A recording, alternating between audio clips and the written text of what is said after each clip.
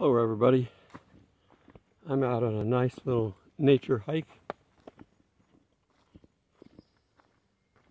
This one should be a fairly short one. Try to do these in the morning so that I don't have to put up with too much heat. And I'm also, this is obviously part of my video for you on, on camping. You need to make sure that if you're going to go hiking on trails, that you're physically able to do that and that you take along the essentials. I'll do that in a little bit and show you what I've got. And I think one thing that I usually forget to tell people because I'm can look at these things and pretty much figure it out, but you need to have a map of where you're going to go. These trails pretty much are self-contained. You're not going to end up starting off in one state and ending up in the next or anything like that. And if you ever totally just don't know what to do, you can always turn around and just follow the trail back from where you came from. The sun is obviously behind me. Let me get a little bit further into the trees here so that I won't keep messing with my video. If I could sing, I'd sing you a song that we did with the scouts. Uh, I was a scoutmaster, but I was not the main guy. The main guy could sing.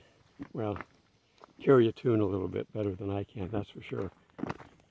And he would sing Follow Me Boys. There's a movie by that name. Fred MacMurray was basically playing the founder of the Scouts, Baden Powell. It was a really good idea. And for many years, it stayed a good idea until the government and their new new system that they're trying to cram down everybody's throat came in and changed it. So right now I'm not part of it. They should have just basically said, we either do it our way or we don't do it at all. Don't compromise with evil. But anyhow, it's a pretty area. Got a little creek next to me here.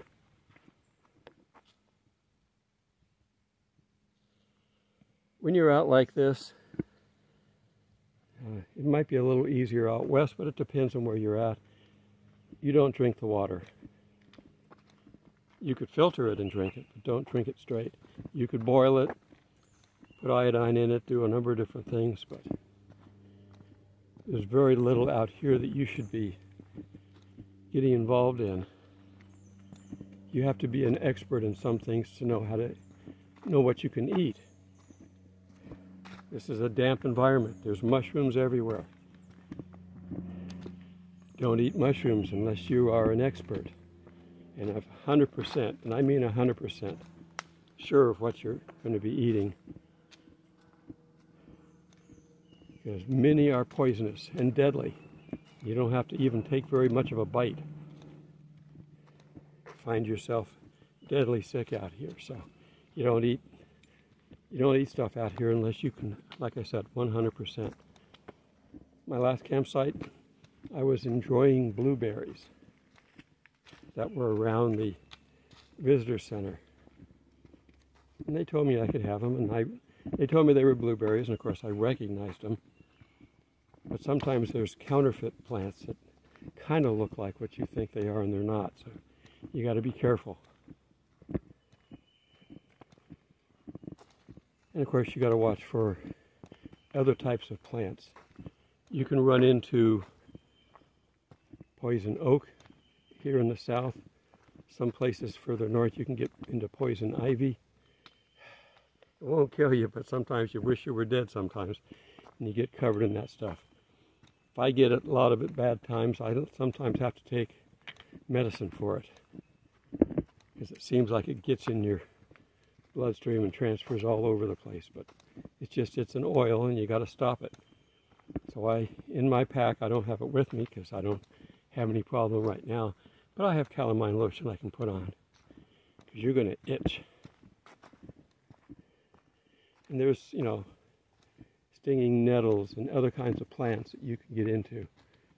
Let's see, what do we got here? I have a sign telling me about bird, brown thrasher, and I have a sign telling me which directions I can go. So I am going to have to put this down, look at my map, and see which way I should go. Mountain Creek Trail, well it says that's the 3.2 mile loop. Okay.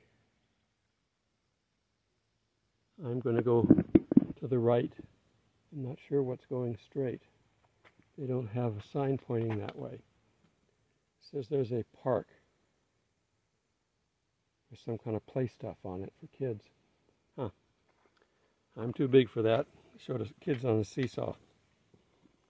So I'm going this way. I'm over a little bridge over this creek that we're wandering along.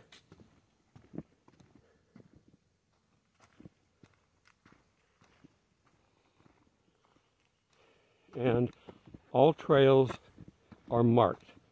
How they mark them may be slightly different, but once you figure it out, they're consistent enough. This is the red trail. So that red on that tree tells me that. So, and that's the one I started on. They had a branch in the early part of it take off and it was white. And that just goes over to the other campsite. So the other campsite can come down and be part of this trail.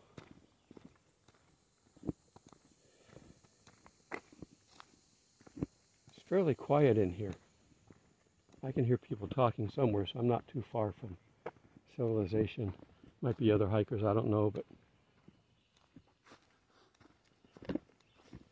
I enjoyed this. I can I can do this literally all day and you'd be totally bored, so I'm just going to wrap this up. I'm going to put it together with my other little videos and then I'll go ahead and post it. I don't need to do this right away because I just, tomorrow's video is a camping video. But I'm out here camping so I decided to just go ahead and film this. And it'll be in a few days. I'm not going to put it up right now, but I want everybody to learn how to camp. Because I think if we don't get raptured more people than not are going to have to do this. There's more homeless people around than need to be. And if you can see that coming along, you may need to be proactive and go out and start camping. Save your money from paying rent if you're gonna if you're gonna get evicted eventually. Save your money. Okay, I see people on the trail, so I'm gonna go ahead and wrap this up and Hope to see you out here sometime. Sometime before we get raptured. Hello everybody. I'm out here hiking. I've got two agendas to do today. I've got to complete this three or four mile hike around the park. And I'm going to do a little bit of talking about this to go along with my Camping 101 series that I'm doing. And then I'm also going to do a video for the lesson uh, I've already got one camping video up ready to be released tomorrow. So this one's going to have to be the lesson one that I'm going to do while I'm out here. For the, uh, I've had a request to talk about the Bema seat, so we're going to do that in a, in a class. But anyhow, this is for the camping one-on-one series. I have a small backpack. You need to be able to bring some things with you. Um, I'll go over that in just a second. I've got my hiking poles. I have a bad knee, so I have to watch how I step. And it's like having a cane. You use it to steady yourself or you use it to uh, protect yourself from stepping wrong.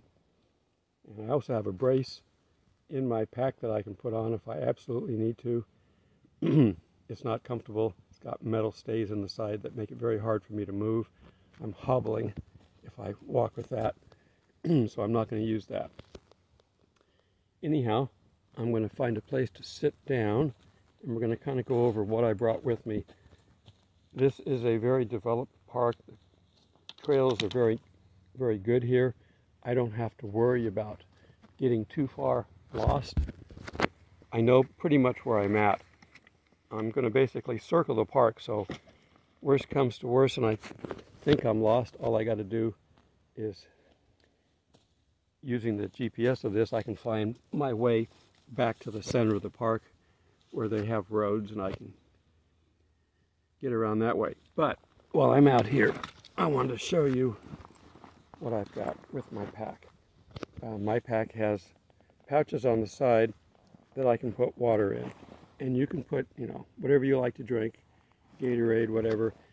I found that if I sweeten the water with something, I drink them too fast.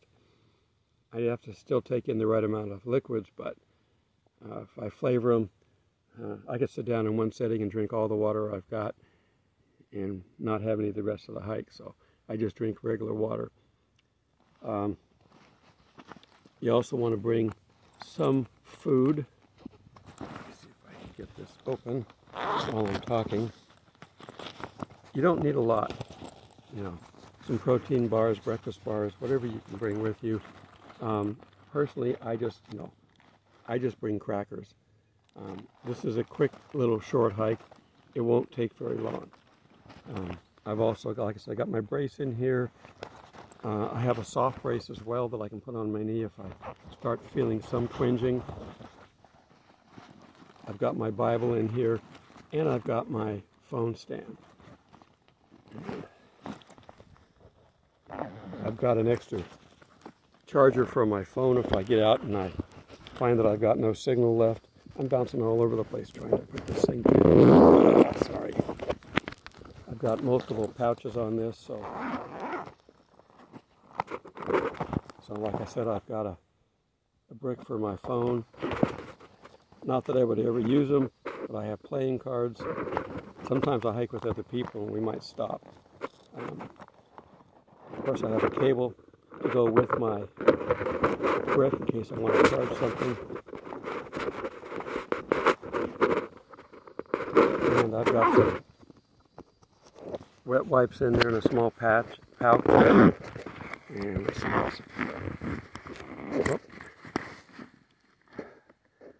I've even got a toothbrush and toothpaste in here. So. Okay, that's enough of bouncing you around. Sorry about that. I'm just doing this right on the trail. I'm seated on a fallen tree.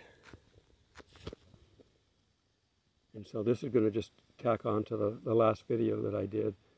And I'll go ahead and upload that here in a little bit. And then I got to sit down and talk about uh, the Bema seat. Everyone's judged, Christians and the world, but we have our own special seat, and we'll talk about that in a little bit. Okay. When you go out to a campsite, hiking is one of the fun things you can do. If you can't walk more than 20 feet, just walk around your campsite. If you know every little bit you do helps.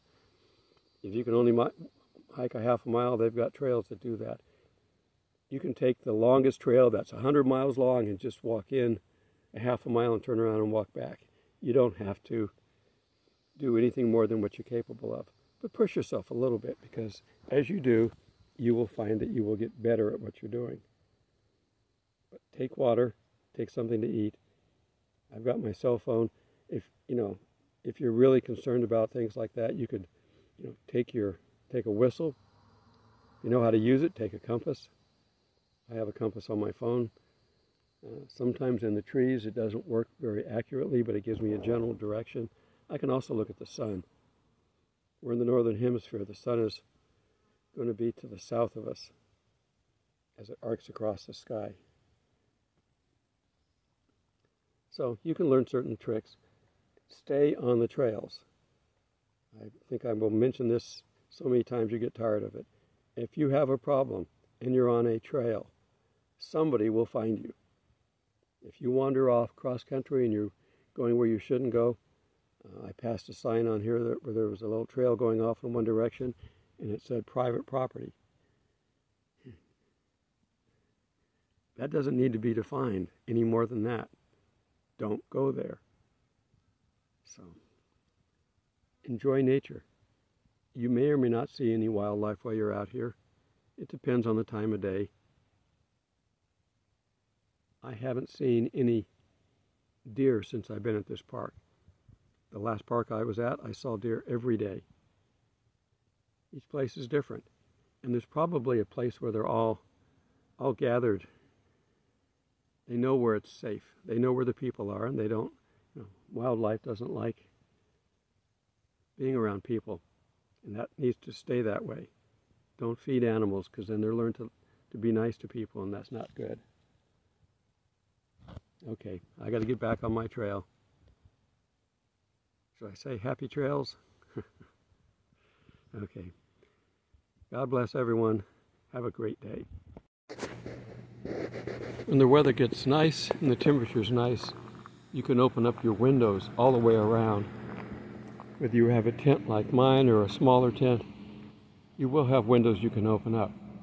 I like that I can see all the way around because I have windows on all the sides. And you know, I've got a camping chair in there if I want to go inside and sit. I have a, a bench over there that I can go sit on. I've got a fire ring. Here's where I get my power. And the water's on the other side, I'll show you. You have a box that you can open up. You can plug in 30 amp or 20 amp, I think those are. Regular AC plugs. I'm using two. And there's breakers at the top, so make sure you got them turned on. Otherwise, you may not have any power. And on the other side, there's a water spigot. Uh, some of them have traditional ones that you're used to. A lot of the parks have these. You simply have to lift the arm uh, and then go above to push down the, to get water. If you have a hose, you can screw it under the end of this. Just lift that all the way up and put the pressure on. Make sure that you have, if you're in an RV, well, frankly, you can get the same kind of equipment for tents, a pressure valve and a filter. And if you do both, you won't overpressurize anything, blow out pipes if you got an RV, and you have a filter that will make sure that the water is clean and drinkable. And of course, I'm tying my bike up to it because it's a nice, strong pull. This is a nice campsite. Some of them aren't quite as nice, but they're pretty close. They've all got these wood frame borders on them to help hold the, the dirt in. This one has a fancy ring, fire ring. Obviously you want to keep your fire inside that, that's what it's for. And you can barbecue on that and that you can raise up and down. Some don't have that, it's just a fire ring. But from here, we can see down, there's somebody out on the lake. I don't know if I can get to him. Yeah, you can see him way out there on a boat. When you look at your campsites, okay, I don't know what I did. I changed something and I shouldn't have. Okay, that's better. I don't know what I changed, but I changed some setting when I touched the screen. Anyhow, when you're looking at your sites, it's helpful if you are familiar with the layout. Those down here are the 100 level campsites, 101, 102, etc. And they're on the lake, so those are premium sites. You pay a little bit more. I'm up here in the 600s where there's a lot of tents. You can still get a small RV in here or a van, but they're basically designed for, for smaller size. You don't pay as much. There's the restrooms. I don't have to go very far. And they have showers in them and I don't think you can see it from here but I have a trading post way in the distance. Let me see if I can zoom in and not mess it up again. That's the trading post that building there. So I don't have very far to go and I did it again. There we go. I know how to set it back now. I changed some kind of a resolution. In any case this is my campsite. And it's nice out right now. It's cool. People have got their fires going. You can see the smoke coming up. If you've got a lot of people on the weekend, that can become unbearable. Everybody has a campfire. You know, there's one there going on. There's one in here. I can see the smoke. But the wind's blowing away from me, so I'm okay. If it was blowing this way, it might be a little bit too, too much. But look at the beauty of this. And there's plenty of extra sites right now for camping. Some places are full. You get closer to the city, they're full. So when you check these places out, you want to basically put in your dates and how many days you want to stay. And then if you don't find one, tell it to look for similar sites. And just, it will tell you. You can, you can look at the availability or you can look at the map. The map will tell you what sites are open during the range that you've got. And if you look at the availability, you can also see, but it's more of a list, so you got to go through it. If your range is too big, start off smaller. A lot of times, weekends fill up and weekdays don't. So I've budgeted in uh, the ability to stay in a, a, motel for a weekend if I need to. And then I can go back to camping during the week. It depends on where you're at. When school's over, when, when summer's over and back to school, there'll be more sites open. Because there's kids around here today. I've seen them out on the lake, so when school's over, they'll be back. Uh, when summer's over, they'll be back in school. Okay, and you can see that I can see all the way through. And to tell you the truth, this is the first time I've had my tent all the way open because it's been hot. But it's nice out here today.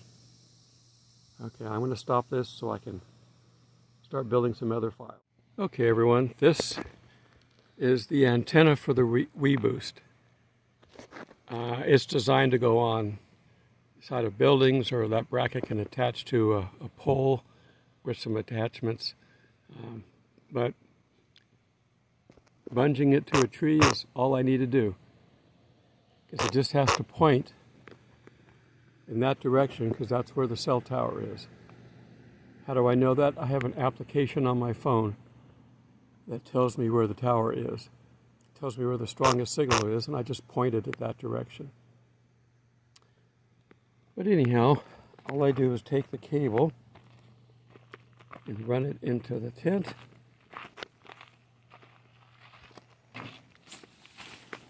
And yeah, my tent's a little messy, but that's what I had ants in here, so I had to go through and clean up.